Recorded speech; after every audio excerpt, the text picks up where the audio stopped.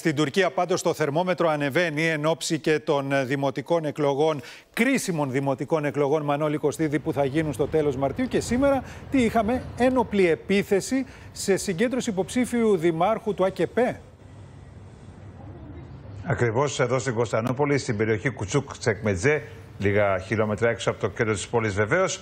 Εκεί ε, τέσσερα άτομα ε, που είχαν επιβάσει σε ένα όχημα άρχισαν να πυροβολούν ε, στα γραφεία του κόμματος του ΑΚΕΠ, όπου υπήρχε μια προεκλογική συγκέντρωση ενώπιση των δημοτικών εκλογών.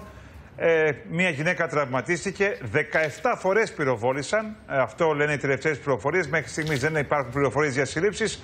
Πριν από λίγα λεπτά, ο, ο Ρετζέπτα είπε Ερντογάν εξέδωσε μήνυμα και είπε ότι κάποιοι προσπαθούν να δηλητηριάσουν την προεκλογική διαδικασία στη χώρα. Δεν θα τα καταφέρουν.